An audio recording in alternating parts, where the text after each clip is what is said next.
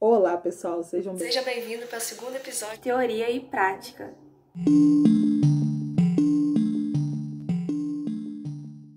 Hoje nós vamos aprender uma receita muito apetitosa que levará um ingrediente já conhecido por aqui. Quem se lembra? Hum... Ah, eu lembro.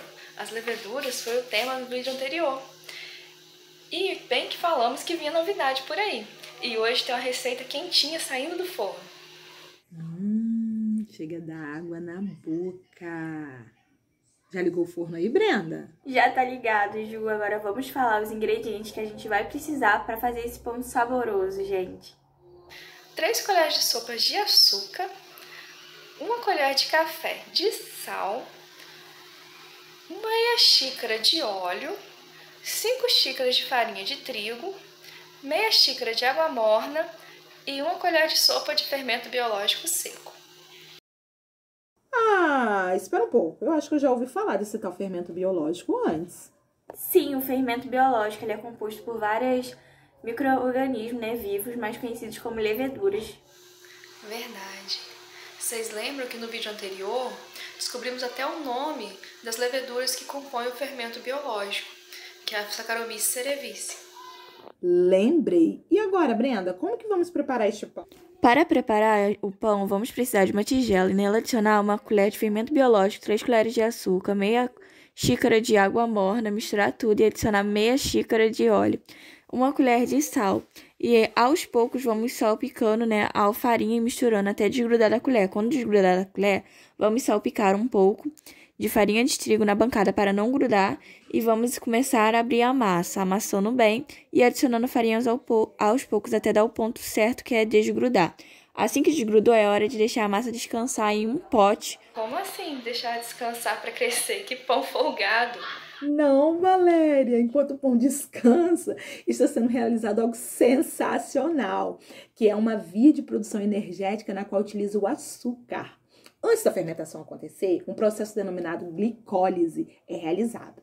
A glicólise é um processo químico no qual fosfatos são incorporados à molécula de glicose, favorecendo a sua quebra em duas moléculas de ácido pirúvico, no qual futuramente irá se tornar a fermentação alcoólica, que é realizada por alguns tipos de fungos. A levedura, a Saccharomyces cerevisiae, que se encontra no fermento biológico, realiza fermentação alcoólica para produzir o pão. As duas moléculas de ácido pirúvico produzidas são convertidas em álcool etílico, também chamado de etanol por aí.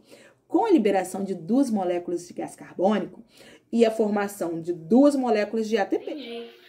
Então é por isso que a massa precisa descansar para dobrar de tamanho. E também, na hora que o pão é assado, o gás carbônico e o álcool evapora, mas o efeito deles continua na porosidade, sabor e aroma do pão.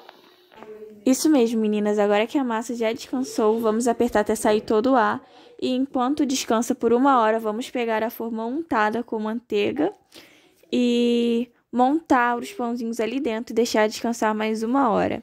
E nisso a gente pode usar uma dica valiosa que a gente vai utilizar, né? que é pegar uma gema e um leite bem gelado e passar, gente, em cima dos nossos pãozinhos. Eu fiz como se fosse um montão de rocambole bem bonitinho e leva ao fogo por 180 graus. Hum, que cheiro de pão fresquinho! Hum, eu tô sentindo daqui. Vou colocar o café para coar. Então, gente, esse foi o resultado do nosso pãozinho. Ficou super fofo em formato de rocambole. Aceita um cafezinho com pão aí? Tchau, pessoal. Até a próxima. Tchau, pessoal. Até a próxima. Tchau, pessoal. Até a próxima.